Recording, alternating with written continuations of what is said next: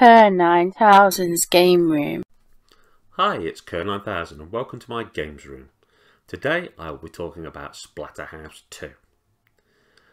You see, I have a bit of a history with masks, don't I? Yeah.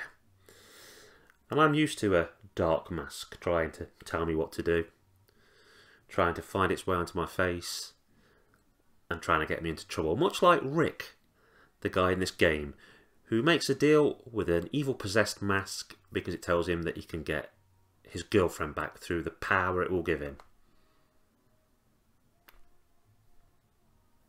Nah. Not now. I firmly put the mask behind me and now we are going to get on to the game.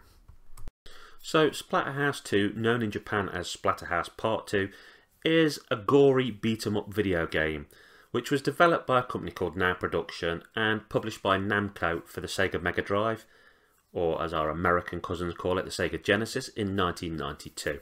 It's the sequel to the original Splatterhouse, which was in the arcade as well as being on the TurboGrafx. And it's sort of the third installment in the Splatterhouse series.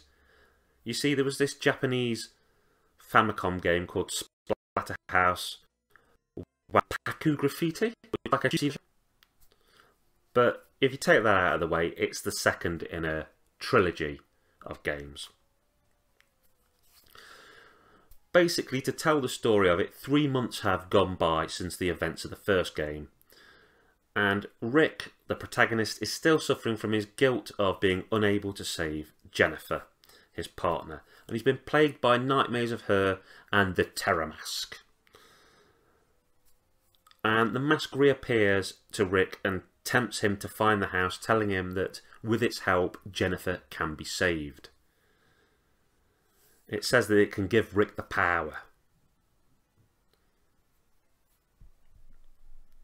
The gameplay in Splatterhouse is very similar to the original game. You control Rick going through eight different stages and basically you're on a flat plane moving usually from left to right absolutely battering monsters with either your fists or weapons that you pick up. And when I say battering, I mean absolutely battering. You will swing a bar and smash a monster's brains all over the wall. And it doesn't end there. There are like grotesque hanging babies who you'll punch to death. And there's monsters who, when you've. This is a boss, when you've dispatched him, giving him a good his guts will splatter all over the floor. The game really is well named. And it is a very adult game. If you're a fan of things like Jason, Michael Myers, then you're probably really going to appreciate that for once you are actually playing the sort of masked killing badass instead of running away from them. It's a very simple game which is challenging and sometimes you'll feel like you've been hit a little bit unfairly. I'm not going to say the hit detection's perfect, but the more you play it, you sort of pick out the patterns of how these monsters bounce around the screen, when to attack low, when to attack high. The more you play it, the further you'll get. And I think that some of the repetitiveness is kind of papered over with the gore. The game's main problem, which prevents it from being a standout 10 out of 10 classic to me, is that it is kind of repetitive and, in a way, a little bit sluggish. But now, the game's main strength, as far as I'm concerned, is the atmosphere, the music combined with the graphics and the gore, the style, it really does feel like it's a playable horror game. You feel like there's a real world there and real peril, and I think they've done an amazing job with this. And if you like your horror films, you are far more likely to get a lot out of this game but I do think it is just held back from greatness by some repetitiveness and some clunky hit detection. but I will still give Splatterhouse an 8 out of 10. I think it is an amazing game.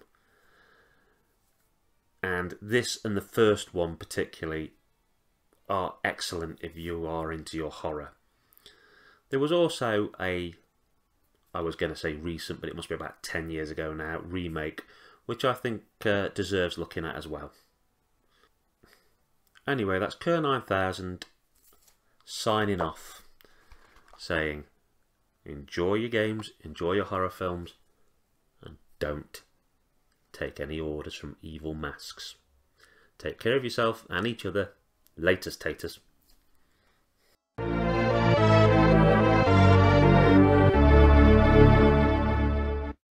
A Bear production. Hi, it's Kerr9000, the Chrome Face Man. I'd just like to say thank you for making it to the end of my video. I've got lots of stuff on my channel, my horror house doing horror reviews, games room doing games, sci-fi station, it's absolutely chock-a-block full. I can also be found on the Retro Gamer U forum, which is full of great people, great laugh. At the end of this video there's going to be some little icons to tick if you want to subscribe, a link to one video, a link to a playlist. I'd also like to recommend the wonderful, talented Just Jessica, who does cosy games like Dreamlight Valley, and is my supportive partner. Thank you ever so much, once again, for watching my video, and particularly if you follow me, thank you for all your support, and have a great rest of your day.